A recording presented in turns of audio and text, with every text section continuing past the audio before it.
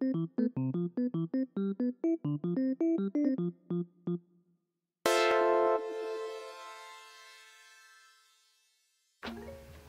there. Oh, I came in right on the break. Well, we got lots of more good tunes coming up. Wait a minute. So, welcome to the stream. Happy Saturday, wherever you're watching from. My name is Carl, and I'm here to talk about some data science and Python A damn fine coding while I listen to music. And this is my first time in the new uh, game uh, section of Twitch, the software and game development. I forget, is this a channel or a or a what or a, a game? It's like software and game development is a game, but I'm in software and game development, and I figured I might as well, you know, take advantage of the specific designation they gave us live coders uh, instead of getting lumped in with like the animal watchers and stuff. We are now in software and game development, not just science and technology. But anyway, thank you for joining me. Let me get into some of the actual content and stuff. once a day. Uh, my name is Carl, and I'm a data scientist in the Bay Area of California. Um, Let it happen. I wrote that book. I'll tell you about it in a second. But in my streams, I do some data science work with Python, so that's where the coding comes in. And the first part of my stream, I always just talk through some basic background, you know, kind of telling you about, you know, what what this is all about. What is fighting churn with data, and why does it have that weird picture of a woman in old-fashioned, you know, outfit on the cover? so, to dive into the talking, I'll talk for about 10 minutes, and then I'll hit the code and the data more.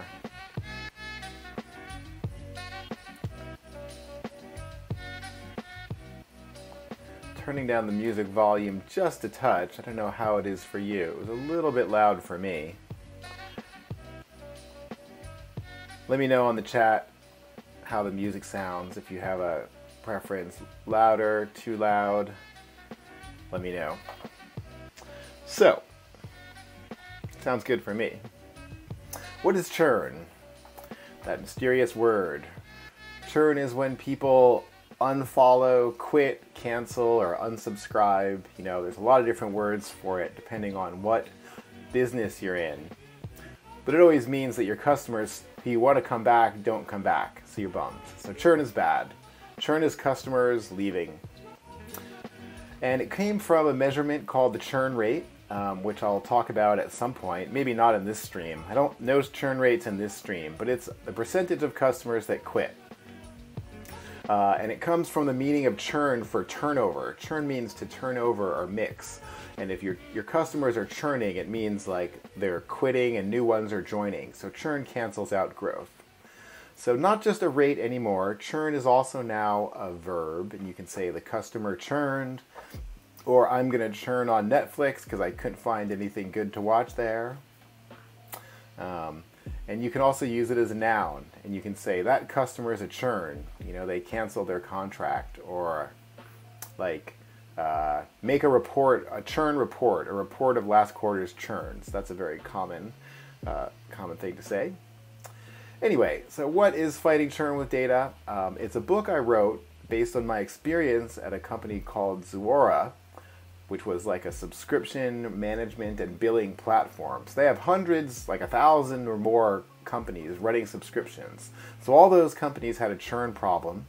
And as the chief data scientist there, I worked with many of them, dozens, uh, dozens and dozens of companies to analyze their data and figure out why cus- customers churn and why they come back.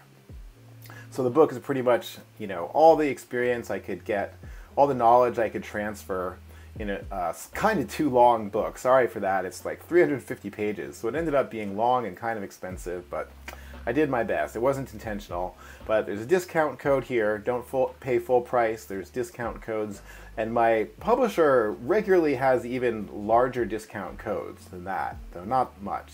I think you can get like a 45% discount if you if you look around. Anyway, so that's what the book is. Now, what is fighting churn with data really mean? Now that's it's a cute phrase, it's the title of a book, but it really means data-driven churn reduction. So that means using your data to reduce the churn from your product or service. Now, how do we usually do that?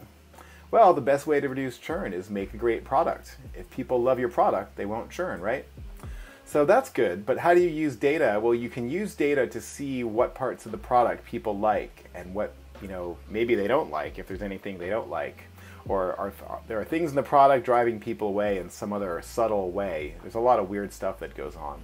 But anyway, you can use the data to analyze your product without doing a survey because churn is like a survey. Every customer votes or get, they answer one question, stay or go, but every customer answers the question every time they have to renew.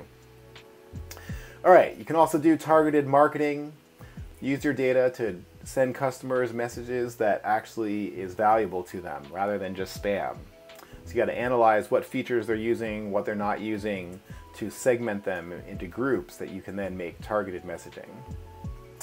Customer success means helping out customers in need. You can use your data to figure out which customers need help. And lastly, well, not quite lastly, but lastly for now, sales and pricing. Use your data to come up with a good pricing plan. Don't give out discounts to fight churn. Um, you give out discounts to get customers to sign up, but not to stay. That's kind of like a, a myth or not always the best thing. Maybe in retail it works. I mean, retail, you'll give out discounts every now and then. Uh, it's part of a retail strategy, but not for subscription or, well, anyway, that's not a strategy for like a YouTube channel, right? They don't have a price. All right, why learn about this? Well, if you want to learn data science, this is the most common data science problem in the world today. Pretty much every company out there has a churn problem because they all want to keep their customers coming back. Um, but there are some special tips and tricks for churn, you know, some things that aren't quite like other data and analysis problems. It's also a cool way to learn data science foundations. So if you're new to data science, this is a cool way to get started. Um, if you follow my book, you'll kind of go from raw data all the way to uh, actionable results. Um, well, not quite actionable because there's no real churn, there's no real company for you to work on you know, in the book. But there is data for you to work on, which I'll tell you about in just a moment. Okay, this is a new section of my stream where I'm just going to run through some thank yous for people who uh, followed me recently.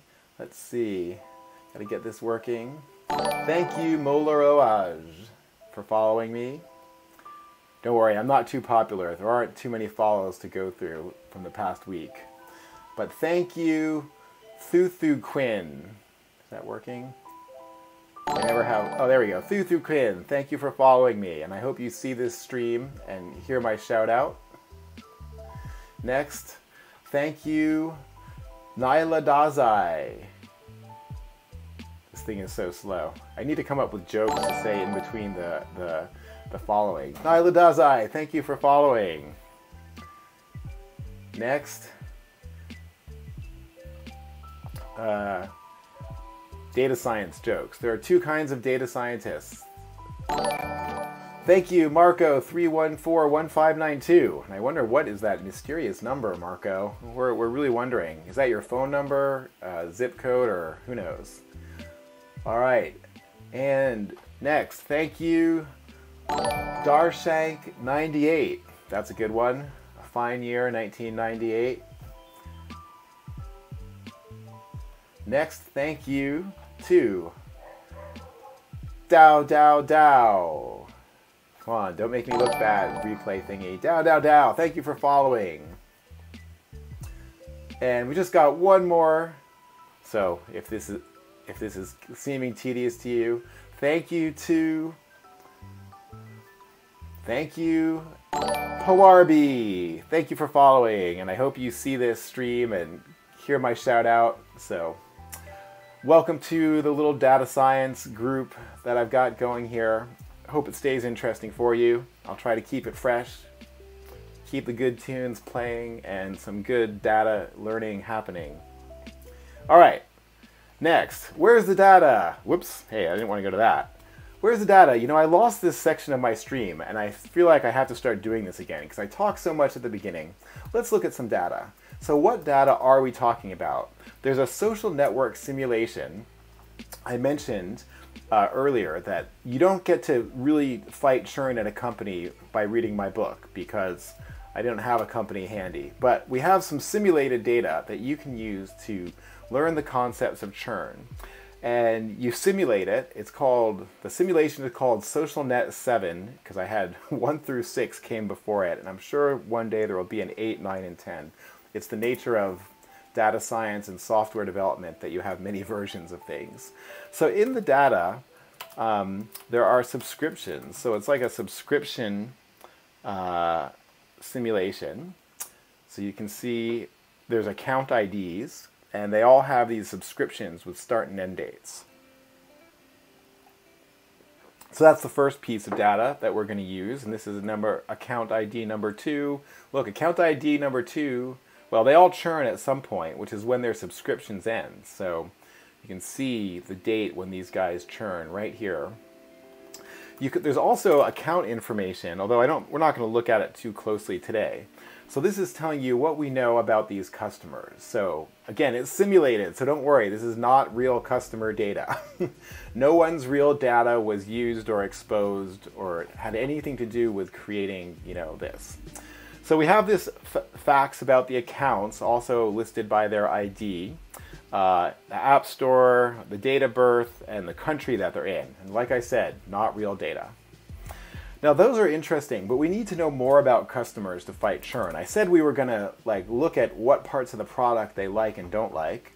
So for that, we actually use events. Whoops, sorry, event which actually shows things that customers did. Now this is actually not that useful because the events are just identified by a type.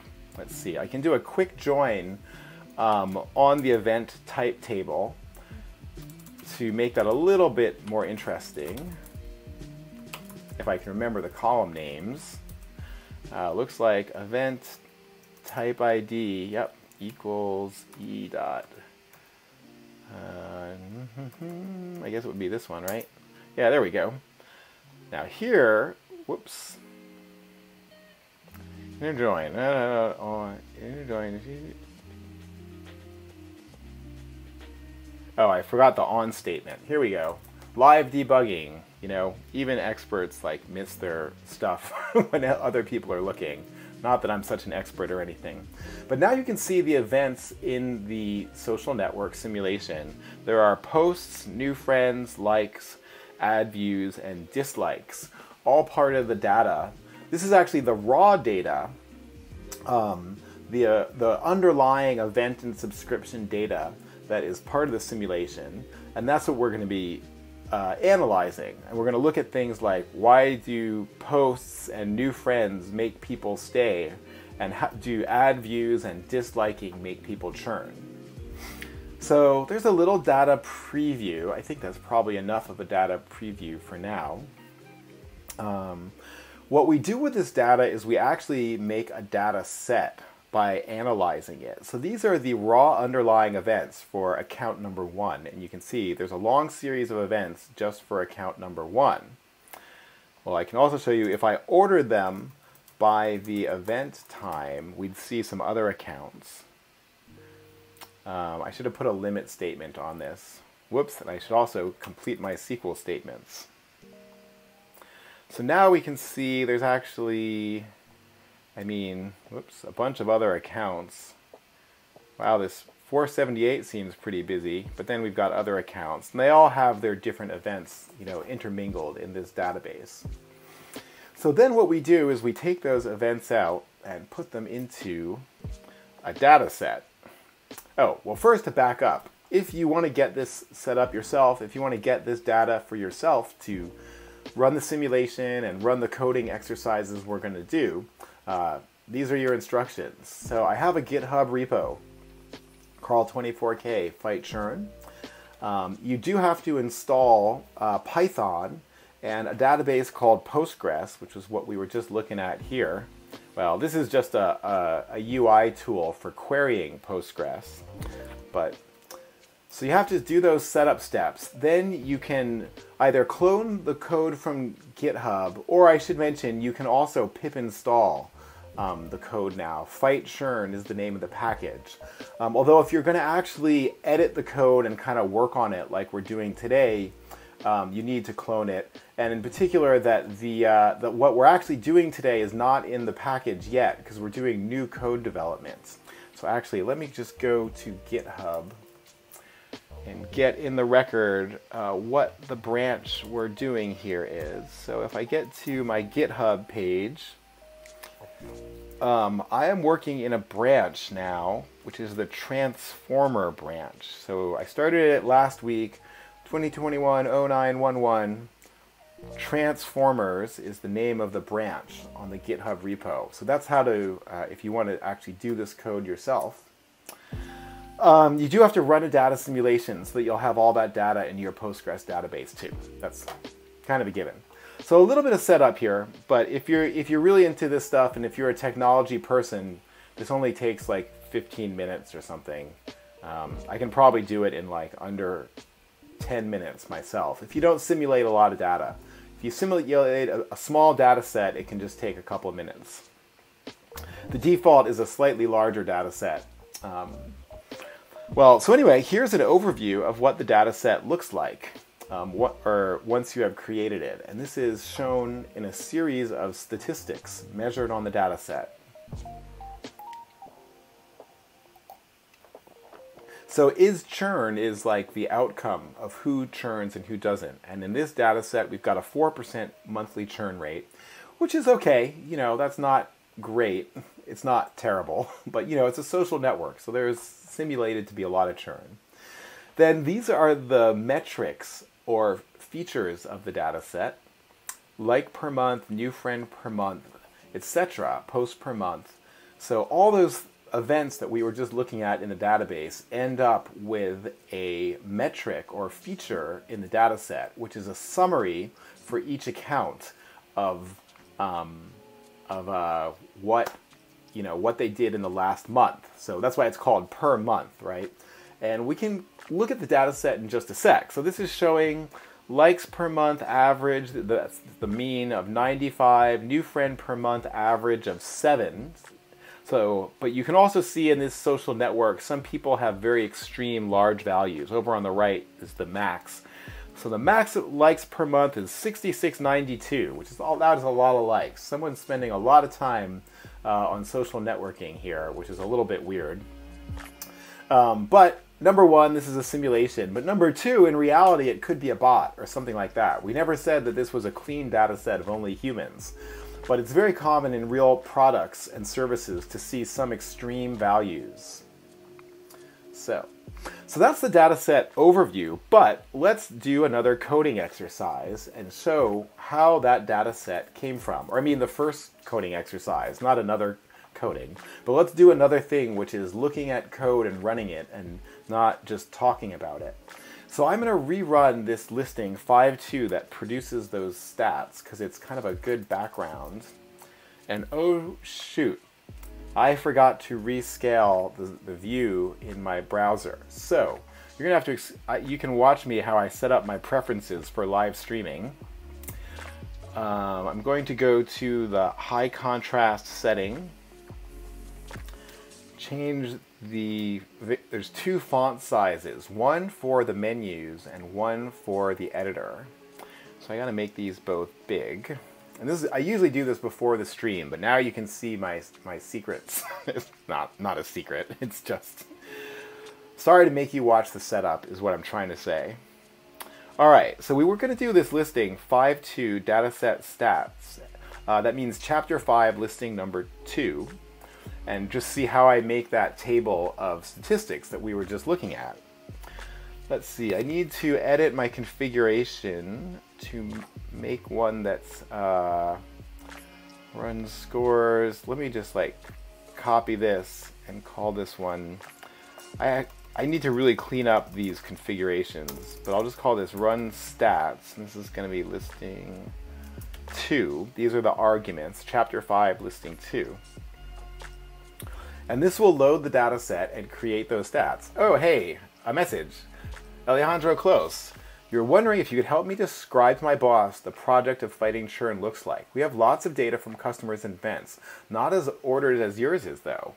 Yeah, well, there's basically um, two main phases to a project. Hmm, I wonder if I should back up and like do a whiteboard to talk about this. I do like answering, you know, interesting questions about churn from out of the blue. Uh, so how should I? Well, let me just talk through it. There's the main, the first main phase is to calculate your customer metrics from your raw data. That's like number one. I'll I'll put it in the chat. You know, uh, phase one. well, if you don't already have them, um, because if you if your data looks like this and it's raw events, that's not so helpful. You need to summarize the events for every customer. So that's basically the phase one. Uh, then phase two is actually analyzing that summary data related to churn. So the first phase is really like a data pipeline preparation phase. And then the second phase is like the churn analysis. So then it's like phase two churn analysis. Uh, and that kind of, the data prep basically corresponds to chapters uh, three and four in the book. And churn analysis is five and really all the rest of them, depending on how deeply you want to go into it. But just chapter five can be enough for churn analysis. Uh, and then it's actually the most important phase is phase three, which is do something. How's that sound for a description of the project of fighting churn? Uh, the do something is actually, of course, the hardest part in many ways because that means you need people who are ready to do it. Like you need a marketing department that's going to send out emails or a customer success department that's going to do training and support. So there's basically what a project of fighting churn with data looks like at a high level. Let me know if that makes sense or any other questions or comments on that.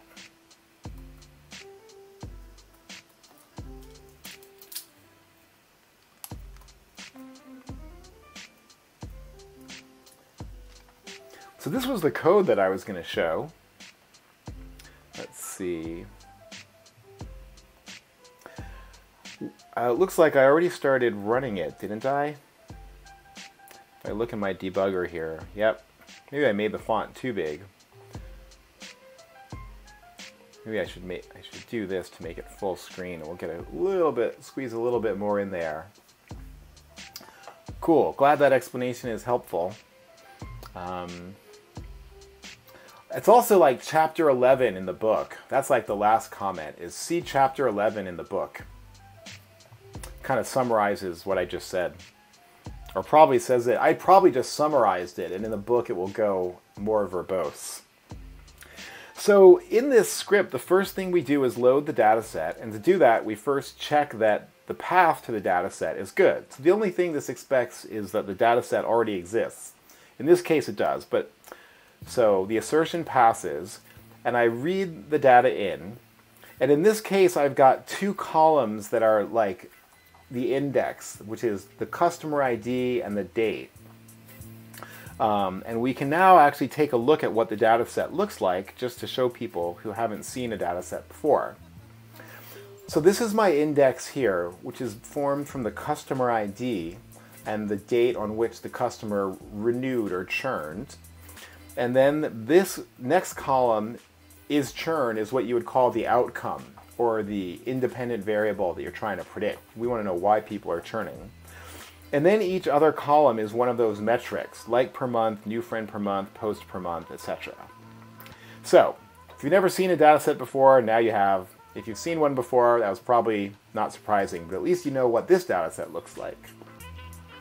Okay, so here I'm first convert the churn data to a float temporarily in, in memory. And then I use a very handy function, which is the pandas data frame describe, which practically has created the summary that I want for me. Now, if we look at that summary thing, it looks like this. This is kind of like the one we were looking at, but you notice it's flipped. I had the name of the metrics on the rows and these summary statistics on the columns. So next I use the transpose function here. Then I add a few additional statistics that I think are really good ones, you know, for analyzing churn. The skew measures how much of a long tail of extreme values you have in a metric. Uh, and the first and 99th percentiles are just good additions to the percentiles, which was already in the describe result. And lastly, I like to add the percentage of non-zero observations. That's also a good one for customer metrics, where very often you have a lot of zero observations. Uh, then I just make the summary and I save it out. Actually, I don't like display it. But we can look now there's an output directory, which I've already defined here. And here is the summary stats, which I just created. And if I open it up, hmm, it opens in the wrong screen. I like this track. I like this. Uh, this this is on Spotify. This is like the royalty-free chill hop, or what do they call it? Royalty-free chill hop or lo-fi lo-fi chill out streaming music. So this is the, the summary that we just created. And that was a very simple example of a first uh, listing. I don't think we want to save this. So there, we finally got into some code and well, not the most exciting example. Let's get into some more interesting stuff. That was just to review some old code really before we get on to something new. Okay, today we're going to talk about transformers.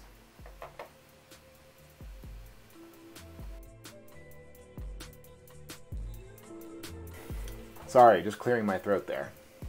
So, what is a transformer?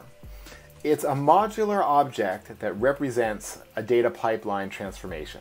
But that's a lot of buzzwords or a lot of mumbo jumbo. What's a data pipeline? Data pipeline is when you go from your raw data to the final usable data for your analysis. Um, and I have some examples of what are the steps in a data pipeline below. Uh, we'll talk more about them in a second. Um, well, maybe I should just say now. Scaling data to scores is one important application, and this whole stream is actually going to be about that. Also, dimension reduction, which means reducing the number of columns in your data, are both some transformations you'll do in a data pipeline.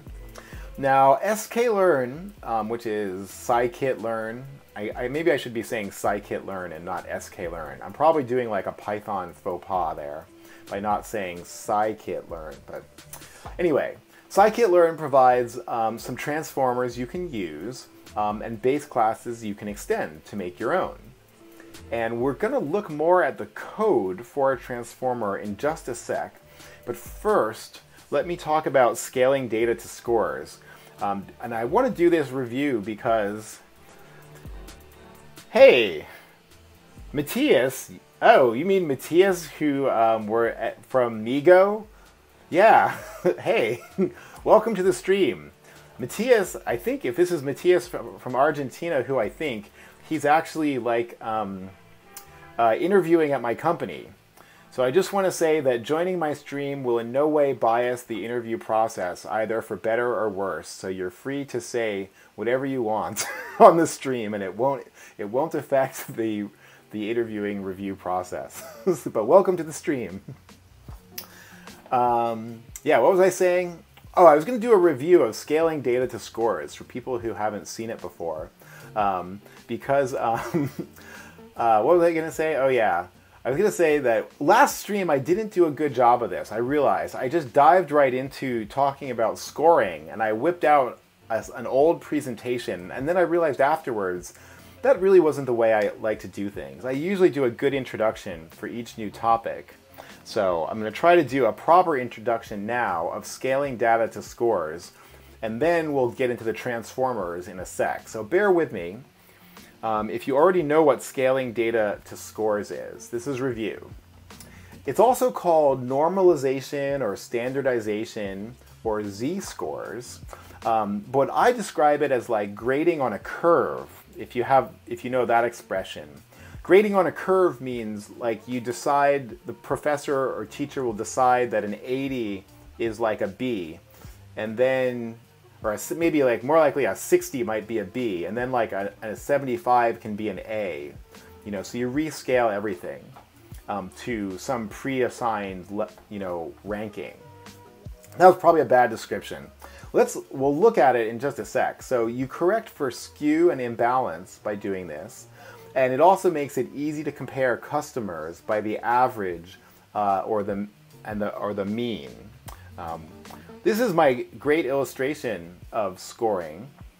And in real data, you have metrics, and like I showed you in the summary, um, you can have extreme outliers, like this customer who has a thousand posts or something. But most customers only have like zero to like, you know, a hundred posts or likes or whatever it is. So they tend to get all grouped up, um, which can make it harder to analyze. Um, and then a score, uh, well, also the mean and standard deviation are unknown over here. Then a score, it's going to have zero mean, one standard deviation, and the data is distributed more evenly across the customers. And that's useful in many contexts. Uh, so it's part of many data pipelines, particularly for regression. So this is where I actually use it in the book, is where we're going to doing a logistic regression where it helps to have, um, you know, rescaled data. So this is the score algorithm that I present in the book, and I want to. I hope this will be kind of quick explanation. It's basically taking um, the log of the metric plus one. So you start with your metrics. This is an illustrative bunch of data. I think it's actually the same points that are in this little diagram. You add one to all the metrics. So crucially, zero becomes one. And then you take the log and that then big numbers become small numbers. So the log of a thousand is three, um, and then the log of 10 is one. So everything gets scaled like 0, 1, 2, 3, even if the numbers go up into the thousands. Then you take the average and the standard deviation of the transform data, uh, and then you subtract the average and divide by the standard deviation, which is what typically is done for normalization or z-scoring. So my, sco my scoring algorithm is just a little extension of standard where I add taking the log whenever the metric is skewed. So this is an illustration of if the data is all bunched together in the raw form, and this is how it comes out like more spread out. So now we'll hopefully that explanation was not too quick and also not too slow for those of you who already know it. Um, but let's look at the code um, and that will make it more clear for anyone who hasn't seen it before. Uh, let's see. Uh, it's always just easier to make new configurations rather than, you know, reusing the old ones. Oh no, wait. I really shouldn't make a new one because there's a, an old one right here. Oh god. Alright. Sorry. My instinct is just to copy, but I should reuse. Good lesson for developers. So let's see, and here is the listing already with a breakpoint. So this will basically show that oper the, the code for that operation that I just described.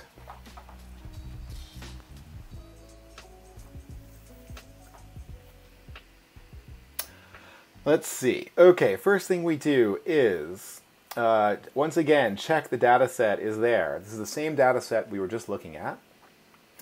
Um, and then we, we load it into a data frame. I showed you that, or everyone who was here before already, so I'll just skip that. The first thing I do is make a copy and drop the churn or the outcome column because that's not part of the scoring. The churn is just like, the churn column is just 0, 1, did they churn or not. Now in this code I actually load the summary stats, um, which is that file that we just produced with the last listing. So there's kind of a method to my madness here by showing you first that uh, code. And then um, we just read it in. And so I can prove it to you by looking at this variable. You select it and then press the calculator button to get the viewer. So you see, this is actually just the same file of statistics that we created a few minutes ago. Um, and I also drop the churn column from here. Now here's the, the key part of this is where I decide which columns are skewed to get that logarithmic rescaling. there's a parameter I didn't mention, uh, which is the skew threshold set to 4. So typically, I mean, if data is symmetric like a normal distribution, it's got a skew of 0. But below a skew of 3 is like not that skewed. And roughly, I would say from like 3 to 4 is when it's, you know, kind of significantly skewed. But you can get very skewed data. Let's actually look back at our data set. Um, going back, back, back to the stats. So the skews here are all almost all higher than 4. 4.6, 10, 9. And you can see it's very skewed because the mean is 7, but the maximum is 380, which is a lot more than 7. Um, and the minimum is not that far from 7, right? See, that's also the key to skew. Skew means it's one way and not the other way. So the minimum is very close to the mean, but the maximum is very far from the mean. So anyway, back into the code. This line checks which columns have um, skew greater than zero. And note that I'm also checking that the minimum, I mean, not skew greater than zero, it checks that the skew is greater than the threshold that I just said a minute ago. And that the, the minimum has to be greater than zero because we're going to take the log. Um, and you can't take a log of a negative number. Uh, greater than or equal to zero. So in this case, the skewed columns is a series. Um, it's like a Boolean series where it's showing, hey, look, these are all skewed. Uh, well, these are the ones that are skewed, rather. Uh, you know, there was like one, the account tenure metric wasn't skewed. Okay, now this is the part where it does the logarithm. So this is my 1 plus logarithm for each metric. And now in these lines, I'm actually replacing the mean and the standard deviation in my little table. The stats is my little table of the stats. And so this replaces them. All right, and that just happens in a loop and I can skip out of the loop by putting another breakpoint there. And now this is the part where we subtract the mean and divide by the standard deviation. And then that's it. So now that's really completed the algorithm uh, for doing the, the, the scoring or normalization using the logarithmic transform for highly skewed variables. Um, Cool. So then this is uh, saving results to score save path. Uh, and so that just basically resaves the data. I can show you the score data real quick if you've never uh, seen this. Let's see. Here, I should select the scores and then use evaluate and view the data frame. And now what you see here is before in the original data, the values were like real numbers. It was like how many ad views per month did the person have? And it was a number like 0, 1, 2, 10, 50. And now it's a real value. Um, and they're all small numbers. They're all kind of, you can see they all kind of range from like minus 2 to like a few higher, you know. So they're all kind of clustered around 0. Um, and they're, so it looks quite different, a score data set than a regular data set.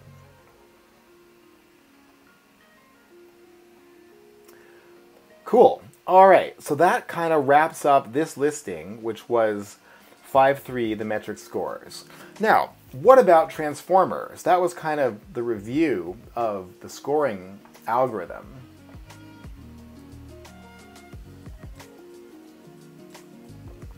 That was me. This is me catching up the slides.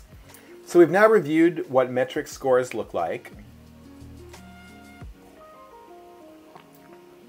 And next we can look at how an sklearn transformer works and how it encapsulates that logic. Because what I just did was a bunch of code. It was like an algorithm that you run and you can run that and it'll, it'll convert data to scores.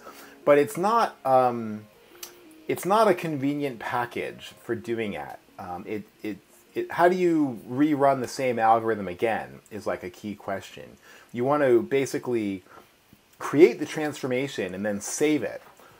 Right now, to rerun that transformation on new data, you need to have those stats. Remember, it, it had to load the stat file.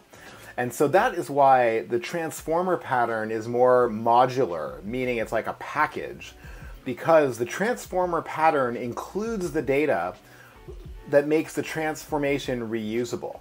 Right now, to run that my transformation, you need both the code and the saved data in a file. Um, and this pattern allows you to save the transformation with the data embedded in it. So this is the pattern. You make a class, my transformer, and you descend from these two classes here. You get an, init method, a fit function, um, and then a transform function. And the fit function is where it determines those parameters for reuse. And then transform is how it can transform any data set. So now we're going to look at that um, scoring algorithm in a new form, which is in the transformer. And this is actually now what I did last week. Um, so if you saw it last week, I'm sorry, I'm going to show you the same transformer again. But we will do a new transformer soon. Um, let's see. So let's go to this one. And I'm pretty sure I already made a transformer here.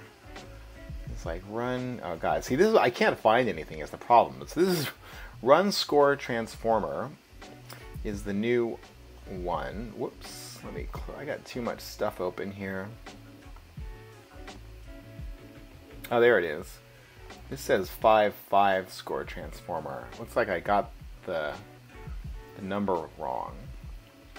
But I'm going to, where does it start? This is actually the entry point for the score transformer. But maybe we should, let me give you, let me, let's look at it first. I think that's actually a good idea. I'm going to collapse all these functions. So you can see basically in this file, yes, this is good. Let me start at a high level. In this file, we have a function which is basically the entry point that the, my code will call into. And this is actually the class that does the transformation. So this class has those methods that we would, I just said, are the standard part of the pattern. Um, I called it the log skew normalizing transformer. Maybe that's like too long a name. You know what? I think I'm actually going to change that. Let's call this, I'm going to refactor this. Let's call it the log skew normalizer. I think that is much less of a mouthful. Do a little refactor here, and that'll rename the class here and in the code that calls it. So this We'll step through these methods in just a moment, but I wanted to kind of show you this at a high level. Um, that skew threshold that we were talking about before becomes one of the parameters in the constructor. And so now let's I'll, I'll step through I'll step through the code. That's the plan.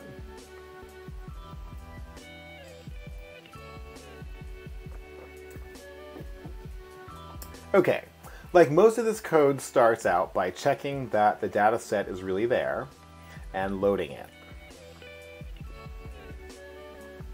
Okay, and now I create the transformer here just by, well, you create it like an object and I pass in the skew threshold.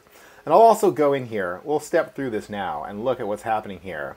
Mostly it's just uh, setting the skew threshold and also um, setting a bunch, of, a bunch of variables to none, just to prepare. There's also an out column, which is the outcome column is churn. And I added that to make this transformer useful for you know other data sets. Because um, my data set assumes there's an is churn column, but other data sets might not. All right, so I stepped out of the, uh, the constructor right there, and now we're back in the calling function. Now the churn data is that data frame we looked at before. You can actually see down here. It's actually only 1592 rows because I made a small data set in my own database just to speed up, you know, some stuff during the demo. um, a real data set for this might be like, I think from the book you'll get like a 30,000 row data set. All right, now we call the fit function of the transformer. Now some of this code is going to look familiar from when we were looking at the score uh, function before. In fact, all of this code, if you watched me do the score function previously, all this code should look kind of familiar. Well, Anyway, let me get moving. So we do have an outcome column, and we do want to drop it just because it's not part of the measurement that we're going to do. So I just, excuse me, rename it data to measure, and I drop the outcome column, which was is churn. Now next, I check what are the columns, and this is actually literally just making a list of the names of the columns. Um, and that's just handy to have for later. And if you haven't seen that trick, this is how I got the names of the columns from my other data frame by calling, by setting it to the data to measure columns values. You know what? I think this is probably bad. I think I need to make a copy of that. I'm actually thinking about this code right now because this is actually setting it to the reference in the data frame. That's probably bad. I'm going to work on that in a minute. Uh, still fixing bugs. This is new code I wrote last week, and very often when you write some code and then you step away from it for a while, you see problems. But if you're out there on the chat, let me know if you think I'm right. I think I need to make a copy here, or I'm leaving a reference to a, a, a member of this data frame, which is, doesn't really seem like a good idea.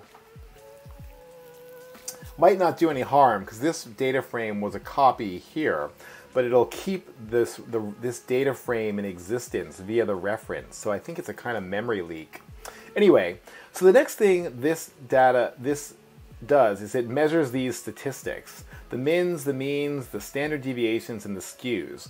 Now I have to do this in my transformer class because they were part of the algorithm, but previous in the code I showed earlier, I reloaded them from the stats file, which was kind of like a cheat or I don't know, it's using the fact that I already done it. So now you can see here in the self, uh, in the which is the object, I can look at the means and see these are the mean values of all the metrics, just like we saw before, stored in, in a named series um, by using the, these functions of the pandas data frame.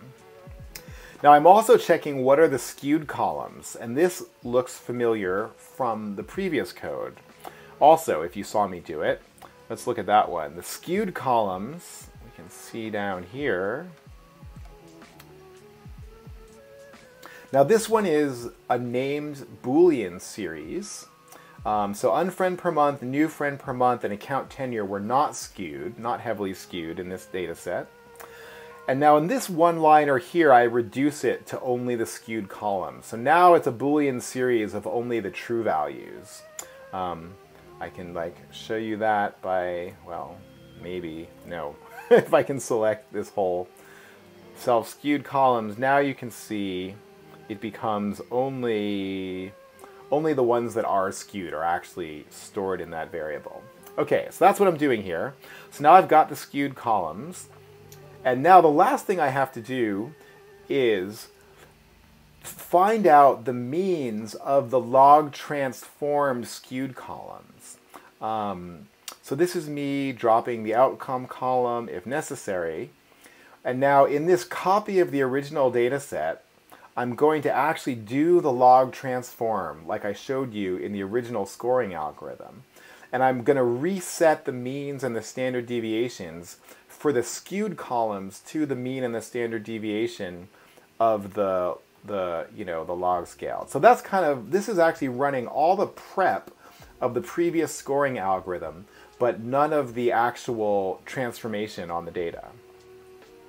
So that's what we're doing here, and I now I'll just step out of this. So now I've I've fit the transformer. It was basically just doing all those measurements, but it hasn't done any transforming yet, has it?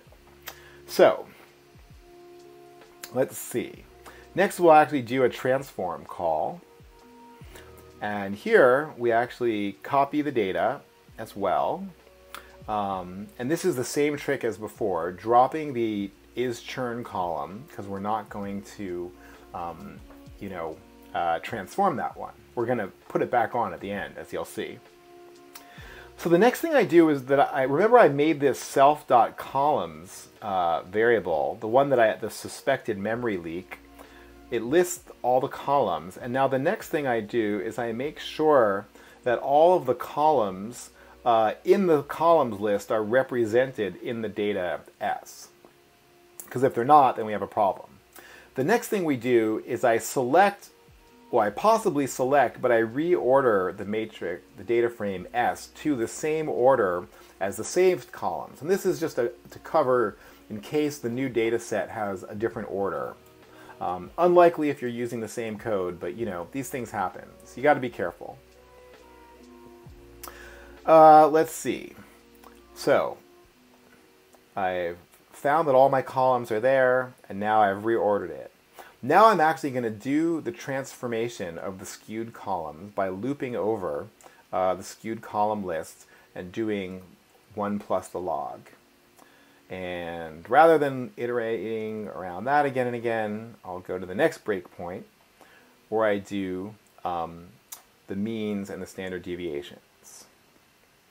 Uh, subtract the means and divide by the standard deviations. I shouldn't say do the means and standard deviations because if you haven't seen this algorithm before, it's important to realize that you subtract the mean and divide by the standard deviation, and that's how you get the result to be mean zero uh, and standard deviation one. You know, I didn't really explain that when I went through the algorithm before, so my bad on that. But so now we have the the, the, the scaled data in S. And so we can look at this one here. And you can see, like before, these are the small numbers centered around 0, mean 0, standard deviation 1, representing the original metrics. Now the original algorithm actually saved it, so that's why I put that here. So we still resave the scores. Um, yeah, and that's pretty much it. Now in this code, whoops, I also am going to save the transformer. Now that's like another trick. We want to be able to reuse this transformer later. So here I use something called joblib.dump, which I'm actually not even sure why I don't use pickle, but I read um, a post saying that you should use joblib to save uh, these transformers. I don't know if anyone on the chat knows anything about that, but I always knew pickle for dumping Python objects, but for some reason, it seems that with transformers, the approved method is to use joblib dump. So that's what happens here. Uh, and that's just an error that the debugger prints out, so don't mind that. Your code will, if you run it, will really run like this, saving the transformer to this path, and we can look in that path on my local and see here I've saved the transformer as a pickle. It's a small object, 7k, and I've actually saved the scores uh, in this file. So that demonstrates um, the first score transformer. And now we can go on to something new and do a more advanced version. Um, let's talk about um, fat tails scoring. Um, this was the chapter 3 score formula for skewed metrics. We did this transformation, m equals the, the logarithm, m prime, I should say, equals the logarithm of 1 plus m, and then we subtracted the mean of m prime. That's what this notation means. Mu usually represents the mean, and then we divided by the standard deviation represented by sigma. But this doesn't work for negative metrics. Um, and so now this is what I call a real data ninja move. That's why I have my data ninja. If you're wondering what this black blob is here, that's my cheap attempt to make a data ninja joke. um, but so, what was I saying? Yeah, so this is a real data ninja move. It's a scoring algorithm that works well for negative values with negative uh, values that are extreme in your data set. And to do this, we actually need to look at a slightly different data set. So let me run through that real quick. Um, let me rerun some scores. I, there's a more advanced version of the data set in the book, and I'm going to show you how to rerun the statistics on the more advanced data set. Um, and to do that, so I want to show you a, a data set which has negative values where we would want to do scoring.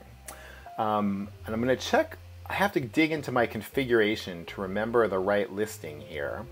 These are the configurations for all for what you can run with the, the listing runner from the book. Um, So here I want to run dataset stats. And under this, it's basically organized by chapter and then listing. Under dataset stats, I have these versions. So I actually want to run version 1 because it'll use dataset 2. This is all from the book. There's dataset 1, which is your basic dataset, and then dataset 2 is more advanced. So I'm going to change the version number in the stat program to run on dataset 2. God, if I can find it again. Uh, actually, let me, actually, I need to edit configurations. This is the stat. So basically, I just have to go here and do version 2. And this will be the stats for the, what I call the advanced data set. And, and, then, we, then I'll show it to you. Um, let's see, I think I still had a breakpoint in the stats function. But let's we'll just look. So here I'm I'm I'm loading this data. Oh, you might hear my dog in the background.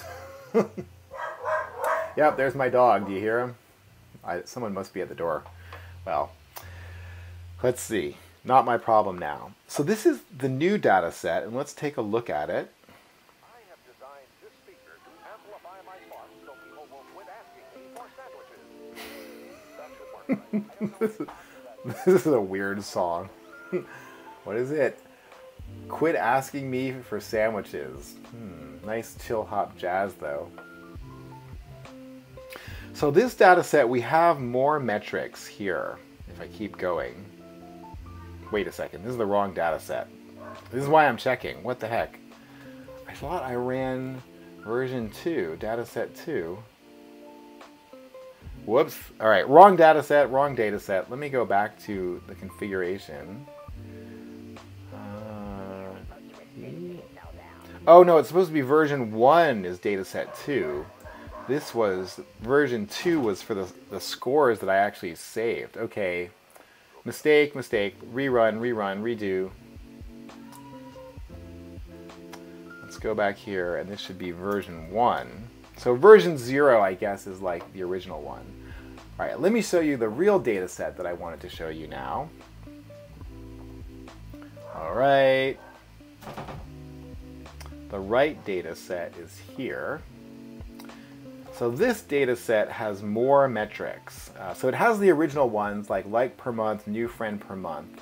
But if I keep going over, um, we have these other ones which have names like ad view per post, reply per message, like per post.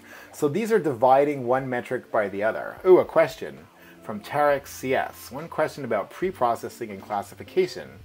In the case of categorical features with high cardinality, how do you treat that feature? That feature is important for the model. Well, it really depends. First question I would say is Are all the categories important for the feature? Um, I usually like to have my. There's two different ways you can handle high cardinality. Now we're going to more of an advanced subject for those of you who are already data scientists. Tarex is, uh, oh, so all of them are important for the model.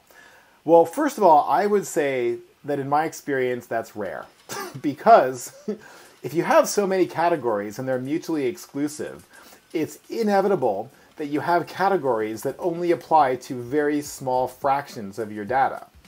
So it's very unusual, I would say, to have so many categories and have them all significant because by it's given that every category can only apply to less than 1% of your data on average. On average, they're going to apply to 0.2% of your data. So in general, a category, the fewer examples that it applies for, it's just harder and harder for it to be significant. Now, in the in that case, if they really are all significant, you should use CatBoost, basically, and that's an, an algorithm that's really designed for high cat, cardinality categories. Um, the operators of transactions in fraud, yeah, I guess so. If you really, if know, you're saying is the operators, so every column is an operator. Hmm, I guess so. So anyway, my knowledge on that is to use CatBoost, um, which is an algorithm that's designed to, you know, have high cardinality of categories and still, you know, work well.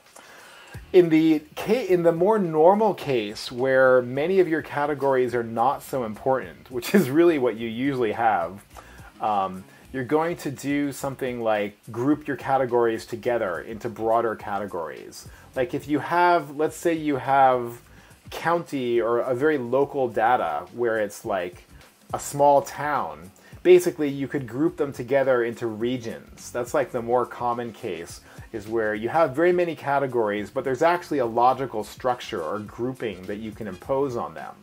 And that actually leads to more interpretable results. And that may even, you know, work as well in the case where, you know, you're saying that you can't, you know, everyone is important. By grouping them, you're not actually not dropping them. If you have some logical, you need more information about your problem to do the grouping, though.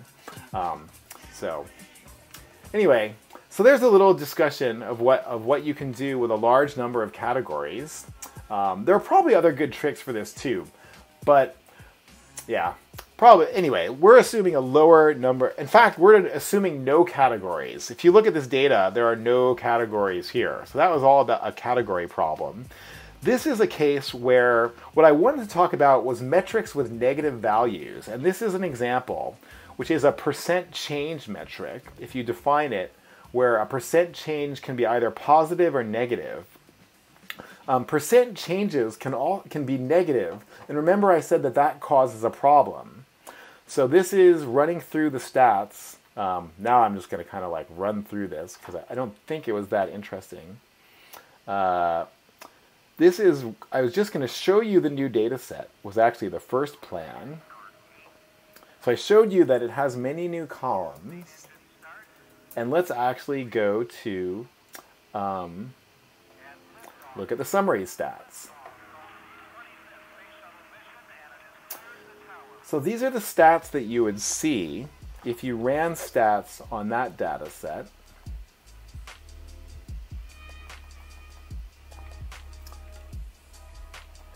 And the key thing to note is when we get down to this dislike uh, or no, it's percent change. Where is it? New friend percent change.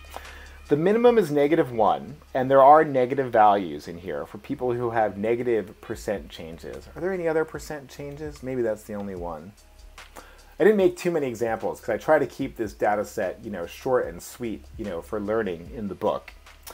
Uh, so it has negatives, and it's also like kind of skewed as well. It's actually not too skewed in this one. Hmm, that's interesting. Normally it's kind of skewed. Probably because I made a small data set. But I can lower the threshold, you know, when we do the next example. So this is an illustration where you can have a metric which can have some extreme values. This one is actually not that extreme, it even seems like. Well, the highest value is 9, and the average is, is close to, well, 0. So it is kind of skewed. It's not the worst.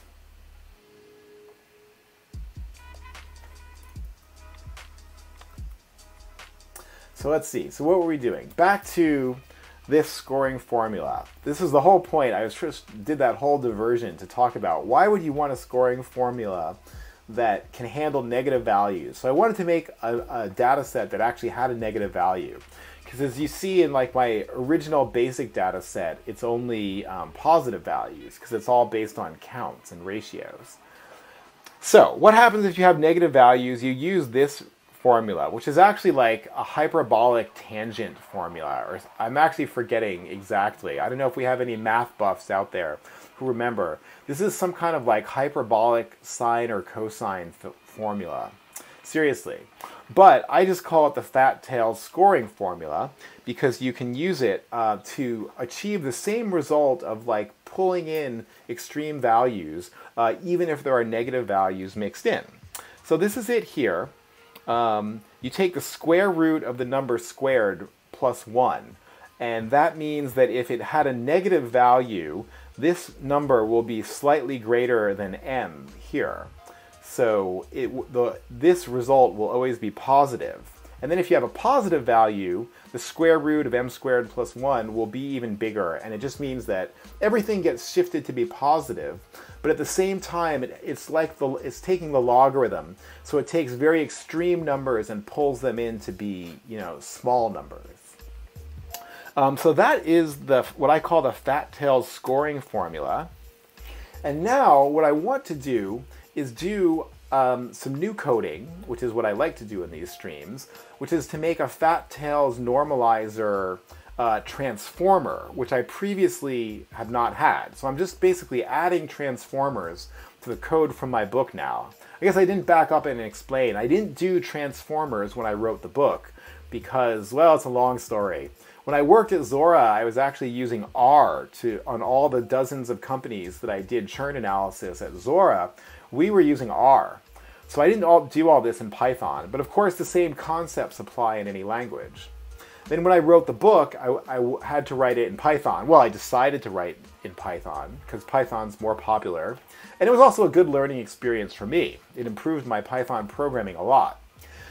But I didn't have time to learn transformers and do transformers um, before I wrote the book. So my book was kind of like a minimum viable product, if you know what I mean, from the SaaS or the software industry. A minimum viable product means just good enough to sell, but maybe not, you know, you can still improve it. So this is me improving the code from my book by adding transformers, um, where in the book there were none. So let me get back to the hacking. So I had an old Fat Tails scoring algorithm. Let's find that one. I won't run it for you because you're probably bored of me running same crap again and, again. Let's see. So I had Fat Tails scores was the old uh, code that I had, which looks, it's kind of similar to the first scoring algorithm that you saw, but it is, um, it includes not just working on uh, skewed columns, it also works on fat uh, tailed columns. And here I just find fat tailed as, you know, skewed plus the minimum negative less than zero, which is actually not a very good definition. I really should have used like that the kurtosis, uh, which is a better measure of being fat-tailed, is greater than some thresholds. Um, so maybe I should add that. I can think about that while we're doing this. But so now I'm going to try to do the live coding. I'm going to have the last sip of my coffee. This is my energy for you know live coding.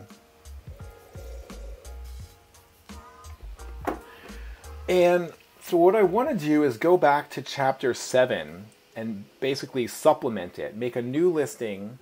It'll be 710, which will be a Fat Tails uh, normalizing transformer.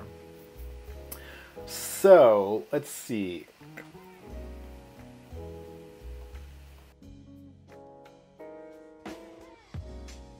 What should my first step be?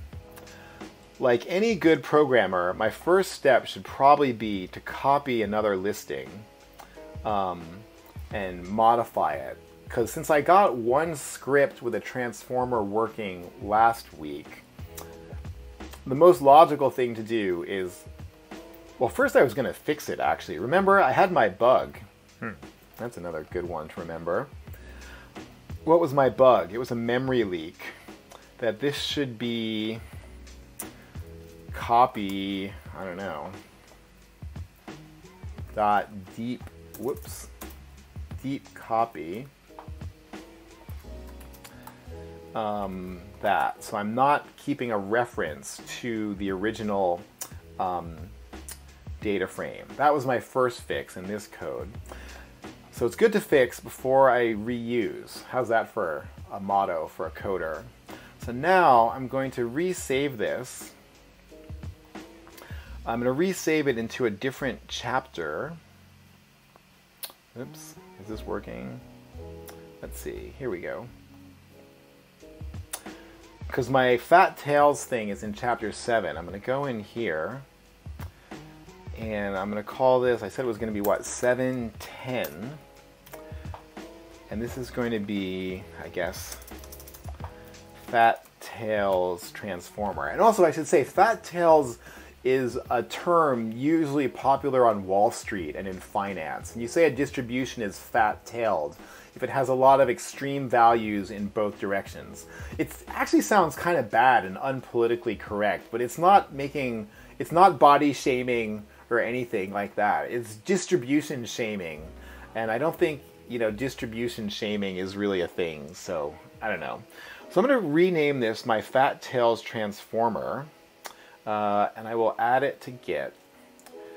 And I'll call this, uh, well, I guess I'll make it, well, actually, rather than just editing it like that, I should be smart and I should refactor. This is good to use my old one because a lot of it is going to be the same. So I'll refactor this to Fat Tails Normalizer. And let's see. Now I'm going to go over my old algorithm and decide how I need to change it. Because remember, what I'm doing is practically the same. I still need all of these things, the means, the min, standard dev, skews. I think I actually want to include a better definition for fat tails. Um, I seem to have some extra spaces there. So I'm going to do a self dot kurtosis. Ooh, is that even a word? And this is going to be data to measure dot. How do you get the, the curt? I guess so. Let's actually. I'm actually going to have to look up, you know, pandas data frame. This is, you know, how people really program, right? With, with uh, Stack Overflow and Google. so here I'm going to do pandas data frame how to measure kurtosis. Okay, it has a method, kurtosis. There you go. I didn't even have to get to Stack Overflow for that one. So it's actually this one. And I'm actually not sure if this is the the plural of I'm just going to abbreviate it as kurtz. Um so now given the algorithm that we had before, let's see. We should also make, now we should basically have another thing, self dot uh, fat tail columns equals self dot kurtz greater than, well I don't have a curt threshold yet, but I guess I should. So I'm going to actually just add that here. This is me kind of improving the code from what I had in the original version. This will be my curt. I didn't actually use the, kurtosis. Equals, God, I can't even remember what is like a realistic threshold for high kurtosis. Uh, let's, again, let's say kurtosis of yeah, let's check what's the kurtosis of normal distribution. It's three. Oh yeah, I remember that. Yes, kurtosis of a normal distribution is three. Oh yeah, and we can look at these cool pictures here. Whoops, that was not what I wanted. What I wanted to do was go to the Wikipedia article.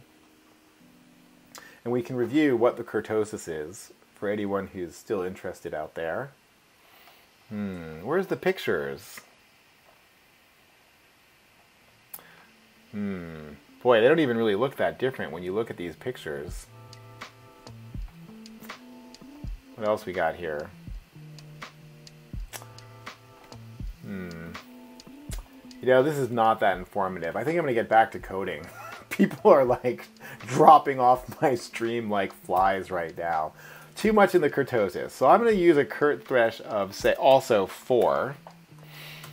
Um, and right, so now we will have, uh, kind of wanted to move this up to, I don't know why there's so much space at the end of every column here. Something weird happened. In like insert mode because this is like going crazy.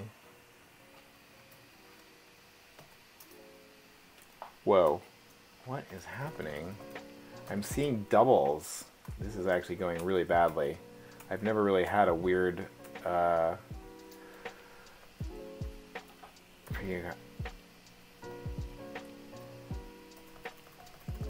Wow, I seem to be in like insert mode or something.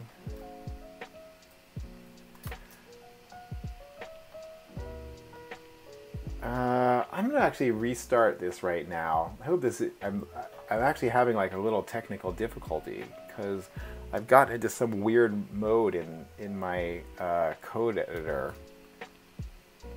Let me restart that and see if I can get some better luck on that before I finish the Fat Tails uh, transformer.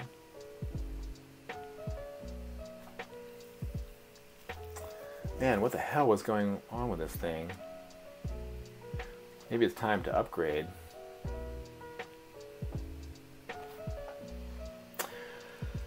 So this was what I was trying to do. Yes, alright. I don't know what the hell happened. That never happened to me before. Um, ooh. I think I lost my out column. Goes out call, okay. And self dot curt thresh equals the kurtosis threshold.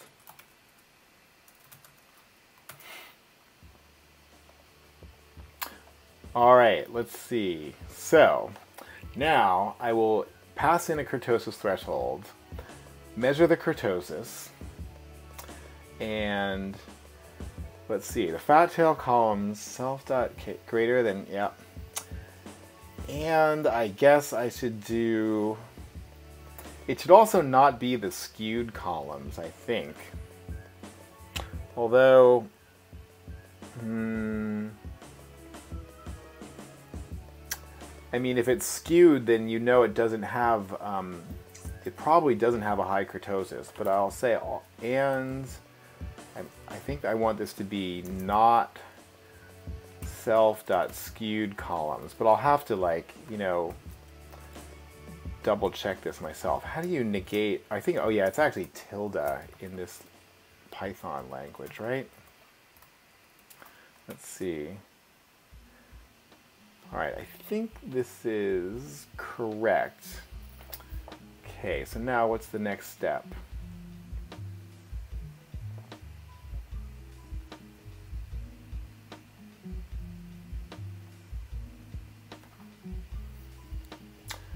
I think it's actually just to go down here and add the new um, transformation. Although I also want to use this little bit of logic so that the these columns are actually only the true ones, right? So I'm basically do the same logic for the skewed columns and the fat-tailed columns.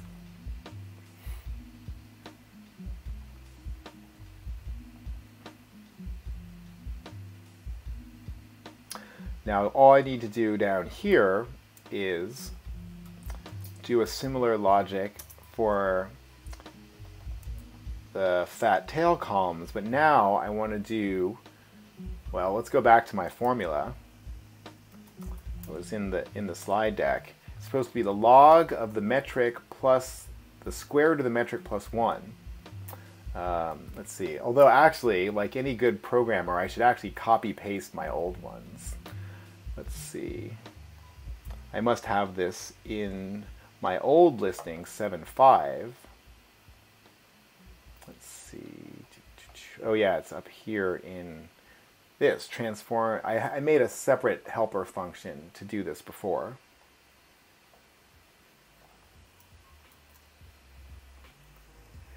Hey Ken Bafu. yeah, well, you're not that late because I'm actually still just going on some coding. I'm working on writing a transformer to wrap um, what I call the fat tail scoring algorithm which I was kind of just explaining on this slide. Um, and I also want to stress that fat tail scoring is not like a put down, it's not body shaming. Um, although maybe we should find a new name for fat tails because it is one of those terms where you think it's not that offensive because you're just talking about the, the tails of a data distribution. But hey, maybe it offends someone. Who knows? Don't want to be offensive, but I wanted to get so this expression, it's just easier for me to copy paste it than to re remember how to use it. And I'm going to put it into my transformer class um, here. But now I want this to be, okay, instead of data, I've got S. It's like my new. And this is going to be the transformation for the columns that have those extreme values. So it's square root of the column squared plus adding 1 to every value. Um, and then also adding the metric here. Let me just see, is that the right formula? Yep, looks pretty good. Okay, now the problem is I actually don't even know what the kurtosis is for my data set.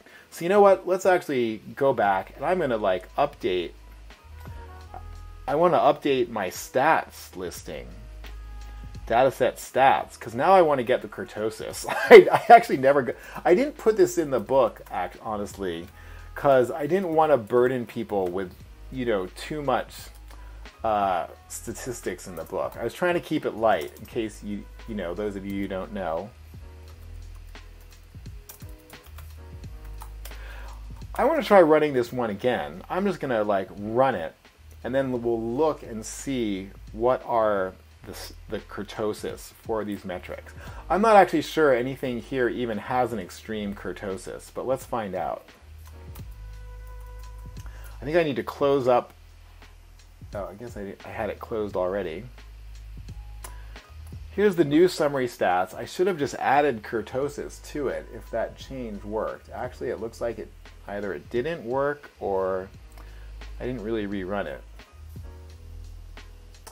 All right, so, oh, I know what's wrong. I have a bug. If you, whoops, back to the code. If you remember, I also reorder the column here. So here I need to add this to my reordering or I won't see it in the final file. That was effectively dropping the new column that I just worked so hard to add. All right, so that fixes the bug. And now I will see, hopefully, the kurtosis in my summary stats. Wow, many of these are, are actually quite high. This, this is interesting. Well, it's expected that they're high because these are very non-normal distributions. Let's just like quickly format this to a number and we'll see what was the kurtosis of the metrics in this data set.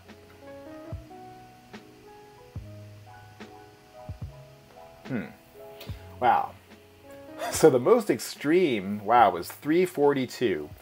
And it's also quite skewed. So you can actually see that skew and kurtosis are often go hand in hand. Um, they do seem to be largely affecting the same metrics in this data set. I guess that's another reason I didn't include it in the first version. But it's a more reliable way. Um, so we can see also for that new friend percent change, um, its skew wasn't that high. Three would not be considered a very high skew but its kurtosis is clearly, you know, much greater, you know, than the normal kurtosis. So, yeah, the normal kurtosis being three. So anyway, so uh, it's good to note. I'm going to go back to our um, transformer that I was working on. So here's the transformer. So I was just noting what should be my default for a kurtosis threshold. I guess if the normal kurtosis is 3, I actually think I should use something like maybe 7 as like a cutoff for what's a high kurtosis, you know, variable.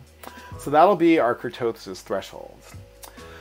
All right, I think this new listing is actually ready to run. Cause, wait, is this the right one? Yeah. Uh, actually, not quite ready. I have to update the trans. This is the fit method. Oh yeah, I also have to do this part. Whoops. Wouldn't want to forget that. This has to be in fat tail columns. And now I have to use the right transformation, which I already put here. Um, let's see. Uh, ASCOM, I think. This is what I have to do. Right. So I actually apply the transformation and then retake the mean and the standard deviation as part of the object setup. So I should really maybe put some comments in this code. But anyway, maybe another day. I don't do a lot of comments in the code from the book because the problem is when the code shows up in the book, the book is the comment, and you don't want to comment in the code because then it's like it takes up space on the page. Um, so let's see. All right, now I think I might really be ready to run this. So I'll rename this one. I have to name it uh, Fat Tails Transformer. Um, and this should really be it. So the next thing I need to do is make my configuration. I'll put a breakpoint here. So when we run it, um, it'll stop there. Let me go in there and find, uh, well, I need to go back to my configuration. That's what I need to do. So in chapter 7, let's see, we have a default, mm, no default. Basically, I have to go in here and enter listing 10 and then put the correct name in. Uh, and then I have to put in um, the right parameters. And here I'm just going to copy these as usual to make it easy. Now the name has to be my new function. And the data set has to be data set 2, or there's no point in using the fat tails uh, thing, because data set 1 didn't really have anything like that. Alright, so I need to get this name, copy pasting it to avoid typos. And okay, that's the configuration you have to make in the JSON if you add a new listing to the book. You'll probably never add a new listing to the book yourself, but I have to go through this to make it easy for other people to run the stuff. So now I have to go in here and make a new configuration in PyCharm. And here I'll duplicate this one and call it the Fat Tails transformer. I don't even know why I put run in all these, right? They're all running something. Now this has to be chapter 7, listing 10.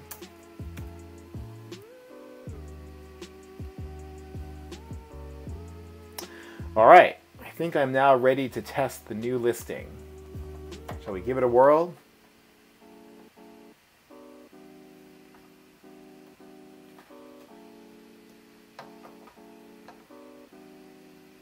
Whoops. All right, first bug. What is it saying? Probably I, I, I set something wrong. Um, do, do, do, do, do, do. Time, blah, blah, blah. What do I have?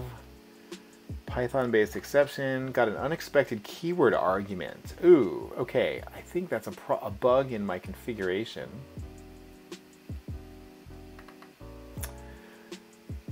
Ah, I see the problem there's a default parameter for this chapter. There are these which is getting passed in. So what I think that means is I just need to go in here and just put in another parameter to absorb the unexpected arguments because there, you know, it'll just be, you know, uh, yeah, it'll just be ignored now. So let's try that. Star Star KWR stands for uh, unknown keyword arguments can come in there.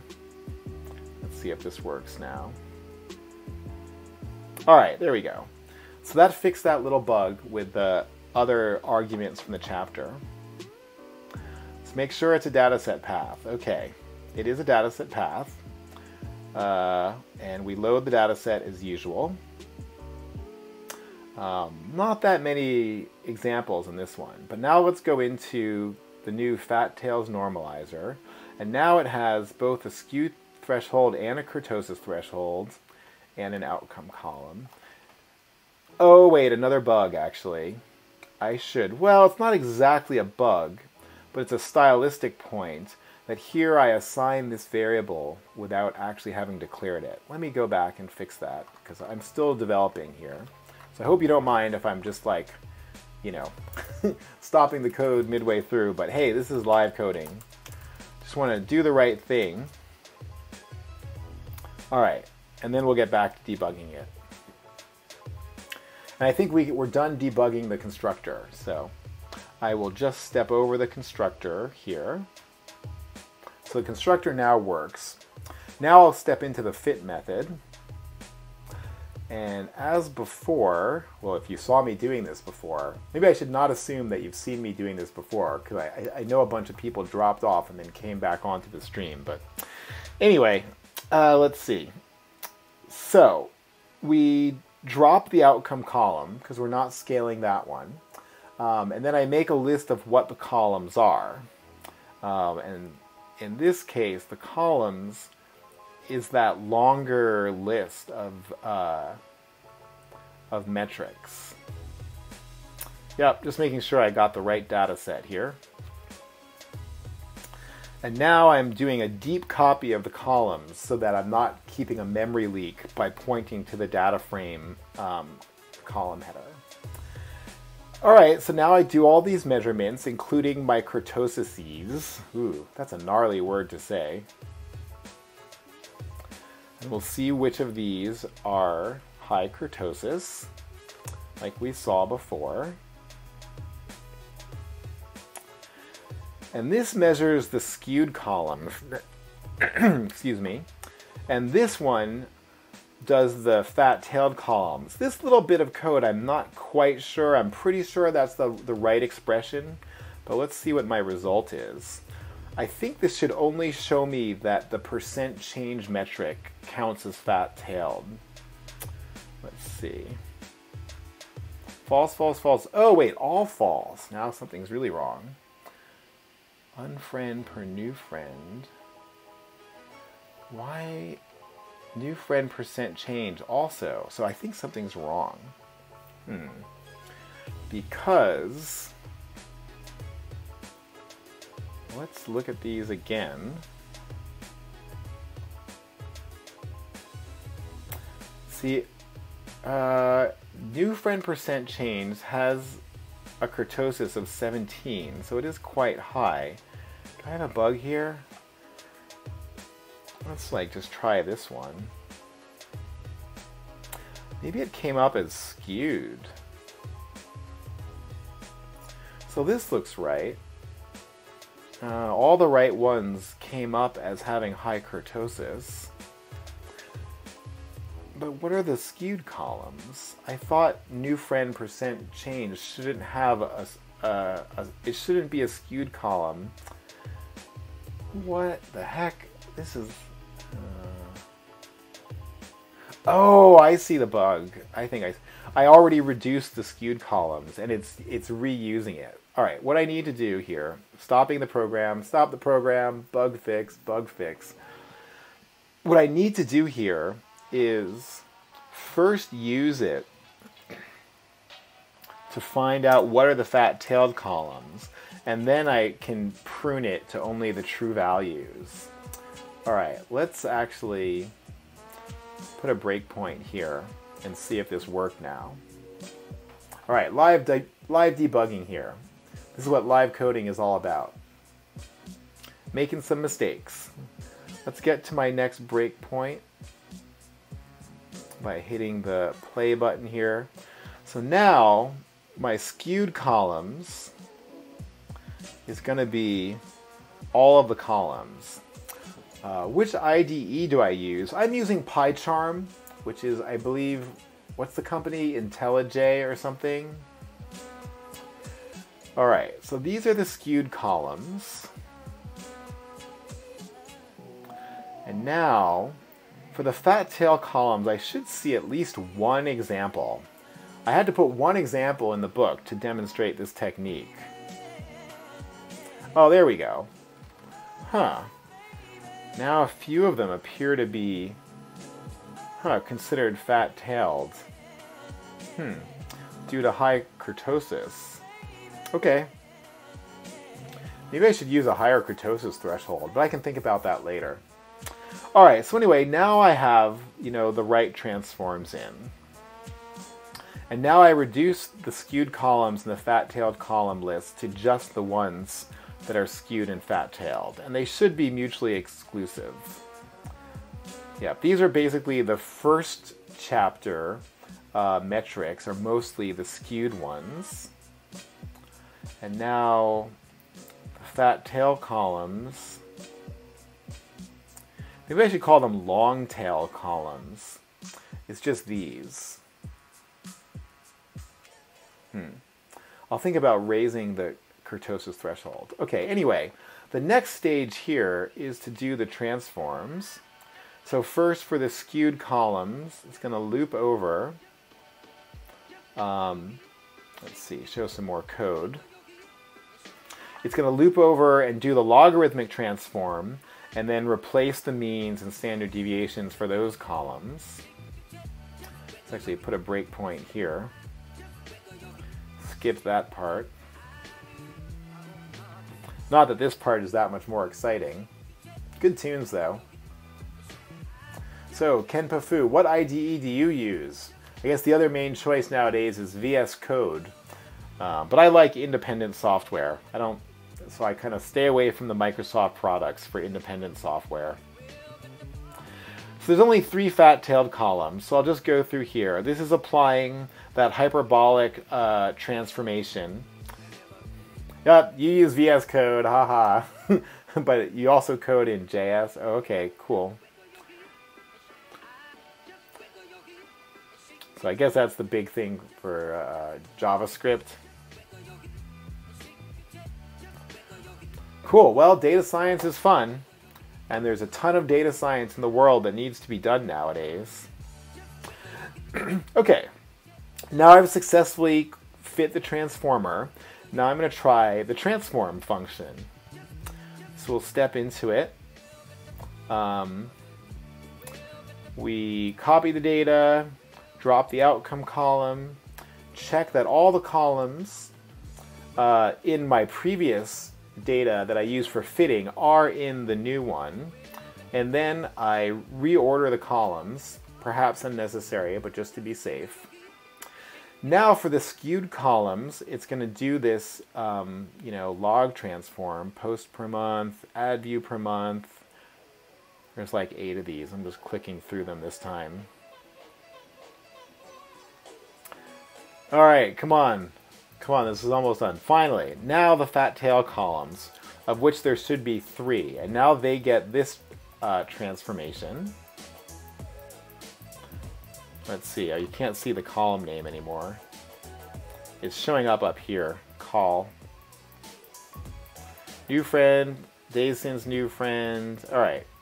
And then lastly, we resubtract the, the means and divide by the standard deviations. And if there is an outcome column, which would be the churn uh, outcome indicator in this case, we reattach it here at the end. So that looks like it's it. I mean, that's the, you know, that's the transformer. Now I also, um, whoops, found another bug. Well, I saved the scores, no problem there, because these are still scores. The problem is my bug here that I want to um, save that transformer. And I don't want to use the name as my other one. So I'm going to rename, I'm going to save this as, I'll just say like, fat tail. I'm really thinking about renaming everything to long tail. But the thing is, fat tail has the connotate in the literature has a connotation of both directions. So I'm stuck with a, a, a indecision here, where you know, kind of an old terminology in the literature is now sounding like kind of old-fashioned. Should I still call? What's another name for distributions with long tails other than fat tails? It could be wide tails. Yeah, thanks, Kenpafu. I'm stuck. But I just want everyone to know this is not body shaming. This is distribution describing. Uh, so, all right. So that I just killed my my running code to fix it, and now I think I'll just run it through. Just going to run the whole thing through now. And then I'll look at my outcome. So it says it saved my scale data to this scores data set, and it saved my transformer uh, in this pickle. Look at my output directory. And so here's my pickled transformer. Hey, it's bigger than the last one. So you remember the first one was only 7 kilobytes. Now it is 12 kilobytes. So you can tell it's different. Why is it different? Probably because there's more metrics. I took one more statistic, I saved one more statistics.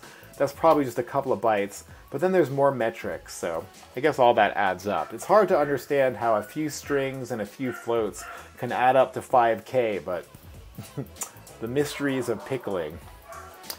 So you can't open the pickle. We can't open the scores. If you want to see what the scores look like,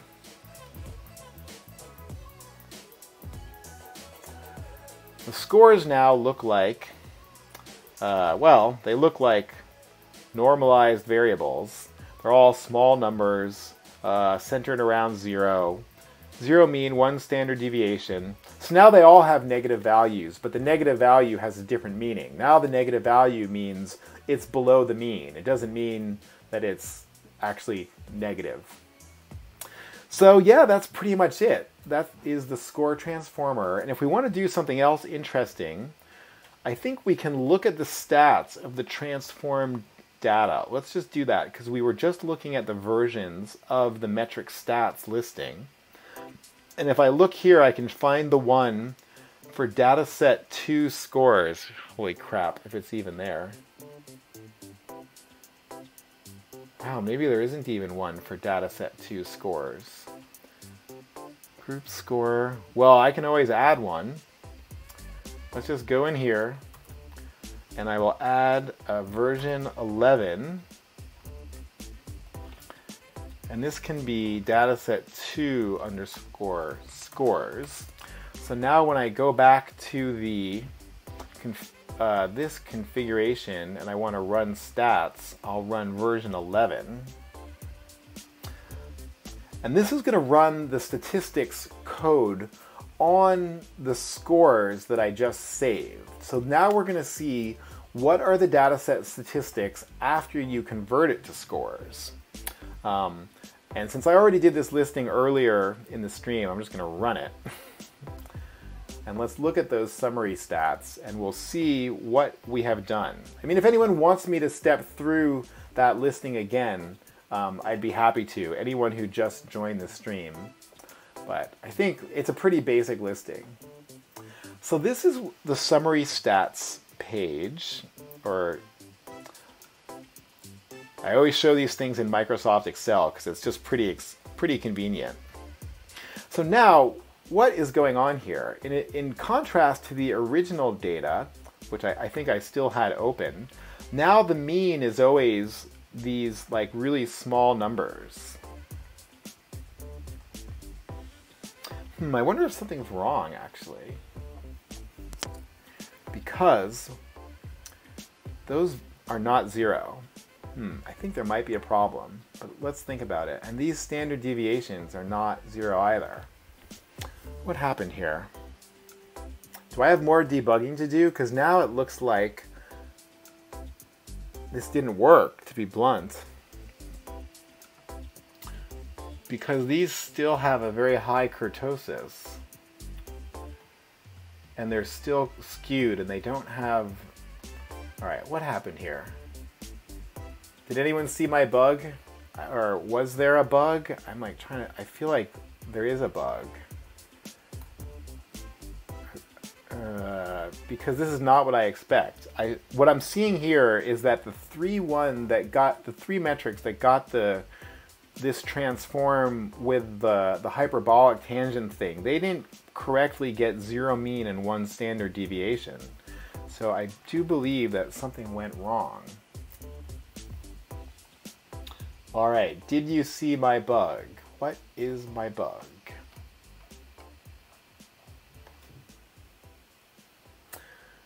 What is the bug? What is the bug?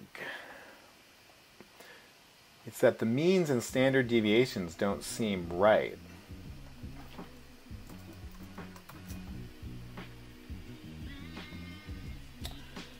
But this looks right here.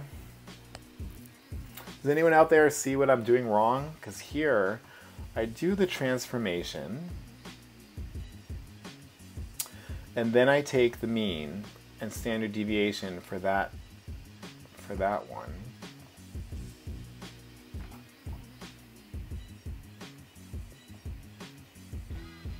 I verified that this was just a list of those three metrics and that this was the skewed columns. I actually am really not getting this now. Because uh, I fit them on the same data that I transformed afterwards, didn't I? Uh,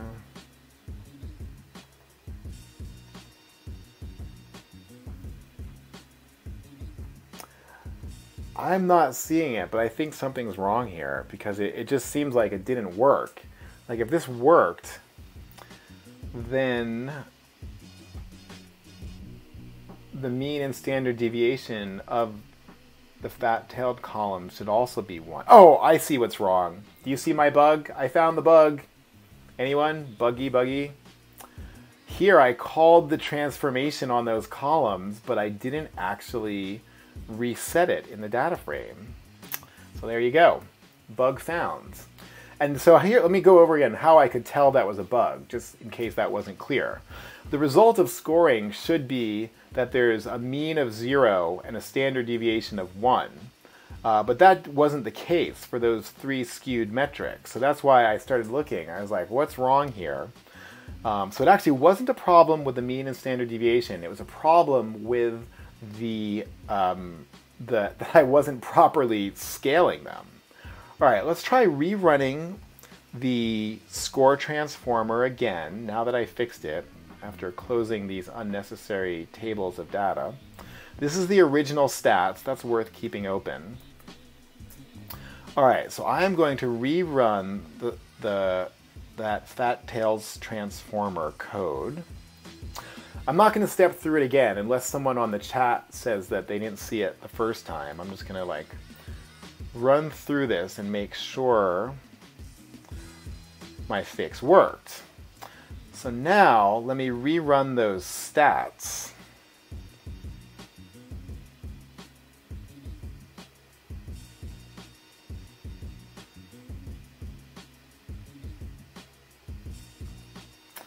All right, so now chapter 5, version 2, so now I've resaved dataset 2 summary stats, and let's see if I fixed it. Okay, the new stats. Yes, indeed. I have fixed my bug, so I am good. As you can see now, um, now for every column, the mean is essentially zero. The standard deviation is one. Also, those columns no longer have that high. That was the other thing that was clearly wrong in the last version. After the transformation, they're not supposed to have high skew or high kurtosis. And now all the columns don't have high skew or high kurtosis. Well, this one kind of has high kurtosis, but hey, nothing's perfect. Has moderate skew. Cool. All right, now I think I got my code to work for real. So yeah, I think that's it. That was my goal for the day. I put I took this scoring formula and I put it into a new object um, that encapsulates the, the thing. So I think this, this my, that was my live hack, finished the live hack. Now here's my summary of what we did today. So, scoring, also known as normalization if you're actually in this field, um, transforms data to a uniform scale. And I describe it like grading on a curve, if you're familiar with that with that. You kind of take, no matter what the original measurement is, you transform it to a particular scale. So there's a log skew transform for data which is positive but has a high skew, and we reviewed that in the first part of the stream. And then there was the fat tails transform, which is for negative data with extreme value. And it refers to the tails of the distribution um, having a lot of data in them. Whereas for a normal distribution with kurtosis of three, uh, there's very thin tails. The tails basically disappear, and there's nothing in the extremes of the distribution. Now, a transformer is an object that encapsulates a data pipeline function, uh, like the one we were talking about. And the, the other thing I mentioned during the stream as a common use for data pipeline transformers is dimension reduction. And there is a dimension reduction section in the book. So the next stream, I'm going to do a new transformer, which will be the dimension reduction transformer based on the book. So there you go. That's the summary of what we did. I don't know if anyone out there has any questions about what we did or uh, other random data science topics. If we want to debate like R versus Python, PyCharm versus VS Code, deep learning versus gradient boosting, you know, we all love that stuff. All right. Oh, wait. This is after my summary. I have an announcement. This is actually my special announcement. New. There's a new Fight Churn project from Manning Books. This is actually my big announcement for the week. That I have created a new project for learning data science and churn on Manning.com. So, big announcement. I forgot, I, I didn't properly prepare you for the big announcement. But if you want to learn how to analyze data and churn on a real data set from a real company, it's very hard to do it because real companies won't give you their data. But Manning Books, my publisher, actually gives you their own data. Uh, and it's a live project here. I'm gonna like go to the live project to show you. So it's Manning.com. That was bundles fight churn dash ser. I think short for series. So this is a, a three project series using Manning's live book data. So Man- Manning, if you actually know LiveBook, LiveBook is for reading books live online, and you can read all your Manning books on LiveBook. Now, in this project, you will analyze the actual data from Manning's LiveBook website. Um, and so this is a project for learning data science and learning the concepts of churn analysis and churn forecasting, um, all using a real data set. Looks like they charge $19.99 for it. Wow, for each section. Again, sorry for the prices. I have nothing to do with the pricing. Um, and my cut is very small, believe me. I don't make much money from this. I just do this for the fun as a labor of love. But yes, this is a big announcement. You can now do a project using real data from Manning.com. And that was a big work for me over the last year. Um, so just wanted to announce that special announcement. You can get it at Manning.com bundles fighting churn dash ser for series. So announcements, I'm going to cover it in future streams. I will actually do the project. Um, I want to finish up this Transformer stuff first because I've been wanting to do it for a while, and then soon after that we can actually maybe look at this project. So that was my big announcement for the end of the stream. Let's see, live stream schedule. This is just my this is my outro. Um, I stream at 2 p.m. Pacific, which is my local time in California, on Saturdays uh, when I'm available. Um, all this stuff is also available on demand on my YouTube site. I mean, all of my streams that actually have some good content in them, I, I put them up on YouTube for, for the, but I don't know why I tell people on Twitch about that because you're all Twitchers, obviously, if you're watching me now. And of course, this is where you can get that book. Um, I need to actually get a discount code for the live project series. I have to ask them if this discount code will work on the live project series. So I will check with my publisher and see if I can get you a discount code for the live project series or if this discount code can be made to work for it. I will follow up on that. And yes, please follow me on Twitter for updates about the stream and churn fighting, data science. I don't post kitten pictures or anything about my personal life, which I'm sure you don't really want to know about. It's not that exciting. Um, well, I do occasionally post when I go camping for the weekend and I'm not live streaming. That's about as personal as I get to say that I'm going camping.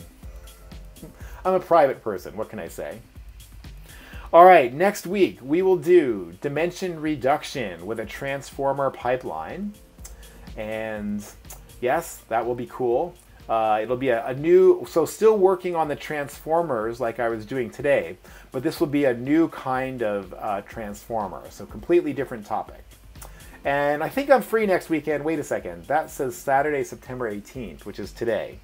So this should say Saturday, September 25th, next weekend is when I will do that. And so, yeah, that's it.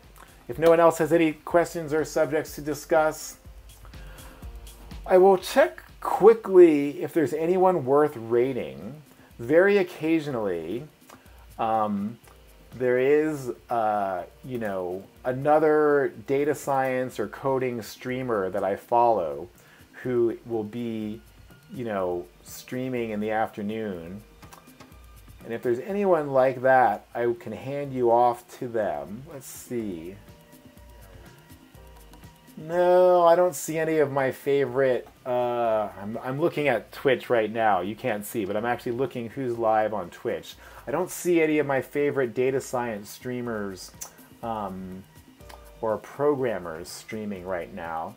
So I will just say goodbye for today. You never know what who you can find to raid. Very occasionally, I know of two other data science streamers, three kind of, yeah, and very occasionally I can raid them at the end of my stream, but not today.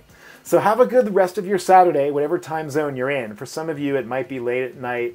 Uh, who knows? If anyone out there is in Australia or like, you know, Asia, it could be Sunday morning for you. Have a great Saturday night, Sunday, wherever you're up to.